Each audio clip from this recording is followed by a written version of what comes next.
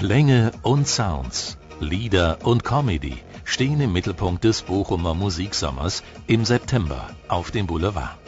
Die Electric Lounge über dem U-Bahnhof an der Kortumstraße bietet akustische und visuelle Erlebnisse zu elektronischer Musik.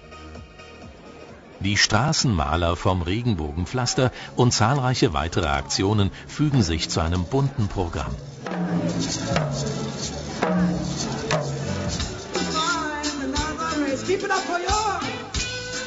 Viele Sängerinnen und Sänger besteigen bei Musiksommer Bühnen. Auch die Chortreppe an der Pauluskirche. Hey.